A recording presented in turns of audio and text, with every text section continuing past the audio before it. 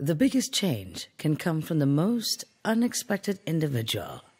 With the audience at your fingertips, all you need is a little push.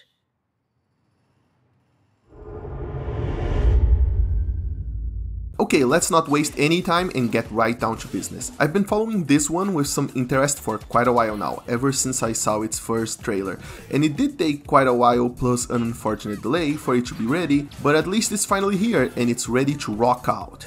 No Straight Roads is a game that's really up my alley, a game that goes down the path of harnessing pure punk energy the likes you've never seen before in order to spread the message of rock and roll. But that's enough abstractions. What is No Straight Roads all about really? Hey the name's Mayday. I wield a guitar, and he is Zook. and he plays the Drums. And together we're Bunk Bed Junction. Woo! These two very colorful and likable goofs are our protagonists. They live in the cartoonish, absurdly larger-than-life metropolis of Vinyl City, a city where music is so integral to everyday life that electricity is quite literally generated by it, meaning the city's largest music label and its government are essentially the same entity, which goes by the name of NSR, the eponymous No Straight Roads. While Zook and Mayday rock out super hard in their audition to try and get a contract going with NSR, they are rejected by the Council of Artists that are currently topping the charts and the CEO herself, a no-nonsense kind of lady that goes by the name of Tatiana. As if getting rejected wasn't enough, rock music is also out loud as EDM becomes the only thing that plays all over the city, and to add even more salt to the wound, blackouts start happening when it turns out that EDM actually can't supply the city with enough energy to function with the backup supplies going only to NSR's megastars. That's the straw that breaks the camel's back, and deciding that they had enough, our heroes craft a clever plan. That is, to hijack the megastar concerts and punch them in the face. Uh, it might not actually be all that clever, but hey, you can't fault them for earnestness, can you? So how do they go about their business of trying to defeat the NSR? Well, their rock revolution adventure translates to gameplay in the form of a music-themed hack and slash. Every hijacking begins with our heroes needing to go through a series of enemy encounters and platforming segments where they must defeat enough enemies to break through the security barriers standing between them and their mortal enemies. Once you manage to pass through that, you get to engage on 2-on-1 boss battles against the megastars themselves. Combat is pretty simple. You get a button to attack, another button to dodge, and a third one that allows you to transform nearby devices into helpful ones, like force shields or automatic turrets, and you can also, of course, jump. You also get two buttons for triggering equipable special attacks, but if there is one real oddity to combat is how flying enemies cannot be engaged with your normal melee attacks, so instead you must defeat ground enemies and gather musical notes that you can shoot out of whatever instrument your character currently playing as is using. But you cannot use them against ground-based enemies, they are for ranged enemies only. On a cooler note though, No Straight Roads can be played in co-op, but you can also play it in single player and you can change between both characters at the press of a button after a short cooldown. This is necessary because, contrary to my first impressions, Mayday and Zook actually play differently. They are not just gender flipped versions of each other, oh no. Mayday is a heavy hitter with powerful individual strikes and an energy bar that is divided in only two segments, while Zook is a combo master that has individually weaker attacks but can easily cancel and dodge out of any of them for a higher degree of control, while also having a truckload of segments on his energy bar. But in turn, each special he can use is also less effective than Mayday. They also both can transform the same devices into different gadgets depending on which character triggers the transformation. So there is a lot going under the hood here than you might think at first, even though at the end of the day, it all blends together in a simple to understand soup of gameplay. A gameplay soup. It's a food analogy.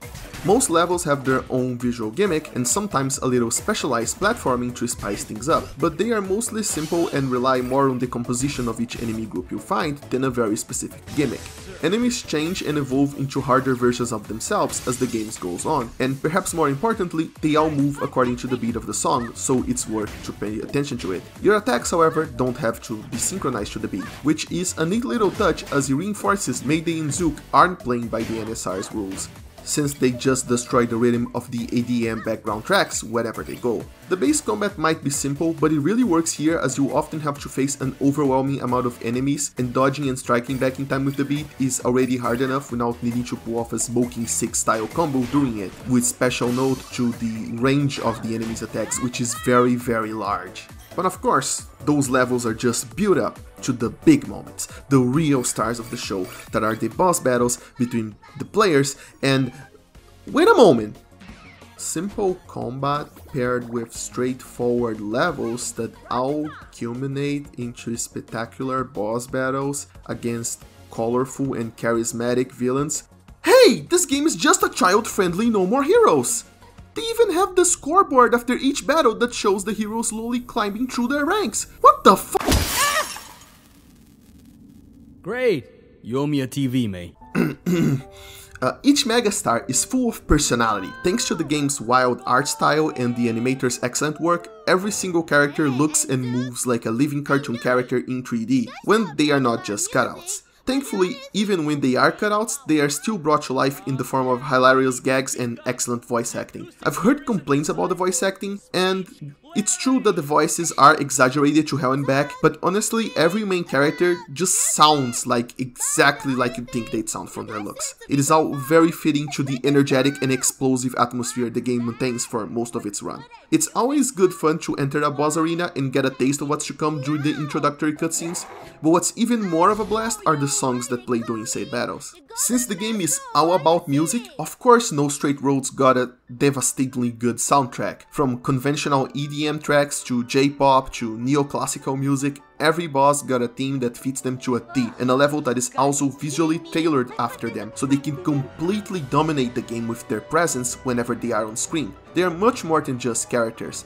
They, for lack of a better explanation, they can shape and paint the world itself in their colors, imbuing it with their personality itself, which makes for a memorable wild journey through a variety of music styles and art styles in which you never know what trick will the developers pull out of their head next. Picking favorites between the megastars is hard, but if I had to say something while avoiding saying any spoilers at all, I definitely have to say Yinu is my favorite boss battle, while Eve has the most interesting personality and background. There's just something so humanizing and endearing in the way the writers chose to portray artists and their struggles that everyone from Mayday and Zook to the megastars they are all flawed, human, but they're also likable characters trying their best. And I do think playing through the game is the best way to experience their individual stories, so I'll stop right now. Another feature that gets a spotlight during boss battles is parrying, because you see, by simply pressing the attack button at the right time, you can parry back any purple attack an enemy throws at you. The game tells you you can just dodge them if you want, but given the game has a rating scale specific to parrying attacks that ranks you at the end of each hijacking, yeah, you want to parry when you can. Which is pretty hard since you have to pay attention and follow the musical cues as the attacks fire too fast for you to react to them visually, but they are always fired following the beat of the music, so pay attention to that for maximum parrying fun times. But enough about that, let's get back to talking about personality, because you don't just go around from hijacking to hijacking in a linear level fashion. Instead, every time you beat a megastar, you get thrown right back into Vinyl City, which serves as a fully explorable hub world of its own that has quite a bit of personality by itself. You can't really attack anything during it, and there are no enemies or side quests waiting for you, but uh, still I'm glad they decided to make it into a fully fledged place because of just how much running around lets you take in the world the story takes place in. I won't go so far as to say it's a living, breathing world, mostly because it's basically just a meme sentence at this point that I'm sure are already inappropriately used at least once. And because No Straight Roads makes no attempt to ground its world into any kind of realism at all, but it still is a world, a world that follows its own crazy rules, a world in which a character can essentially teleport for the sake of a gag. But it's a world nonetheless, and going around it, inspecting different objects and getting both Mayday or Zook to express their own individual thoughts about them, while running around collecting stickers and collectibles that further explain the backstories and motivations of the megastars themselves, just works to make everything feel more believable and the stakes more tangible, even amid all of the craziness. For you see, The cutscenes are constant and longer than you'd expect. Vinyl City itself is filled with colorful characters like Cool Guy, Unicorn, an Asshole Difficulty Man that you can talk with as you explore. And there's all sorts of nooks and crannies that might hide collectibles, but mostly exist just to vibe with the rest of the game. The story and the writing here aren't just excuses to get the crazy action going. They are front and center in trying to tell a genuinely interesting tale with genuinely likable characters at the forefront. And I know I'm not the most critical person ever, who could only enjoy the stories of Beethoven and the music of Shakespeare, but I do believe I have standards. I do like to believe that, and the presentation of No Straight Roads completely fulfills all of them. It seriously looks and feels like the best of DreamWorks movies, or dare I say, even a Pixar movie, if they ever manage to get out of their rut and produce another hit as big as the ones from their golden days. And I also want to give a special shout out to all of the 2D animation in this game that is pretty cool and blends perfectly with the 3D models, especially Sayu's cute commercial. I'd definitely buy more chips if this mermaid was advertising them, haha. I'd die for this mermaid. And all that energy and rocking out and shouting is pretty great, but it can get pretty tiresome as well. So what is one to do when one is overwhelmed? Well, you can always go back to the sewers, Zook and Mayday's Hangout, where you can apply stickers to your equipment to give them temporary buffs, or you can choose mods that can change your special attacks, and you can also play at underground gigs, which allow you to use your fan power that you get from getting high scores at the hijackings to upgrade your power with passive bonuses. Also, you can check out collectibles, feed your sewer alligator, and play an old school arcade game.